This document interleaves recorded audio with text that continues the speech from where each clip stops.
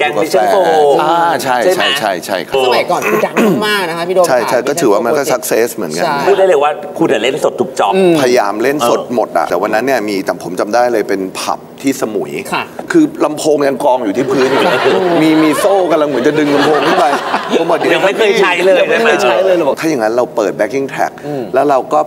เปรียบเสมือนว่าเราเล่นแล้วกันอ่ายังไงเดี๋ยวโชว์ Lip sync มาเนี่ยแหละ go on เนี่ยใช่ต้องเล่นน่ะจบเพลงแรกปรากฏการณ์เพลงที่สองเพลงที่สามค่ะสักพักหนึ่งผมก็ยังอยู่ในหน้าที่ก้มก้มก้มหน้าก้มตาเล่นอยู่มันๆนะเออ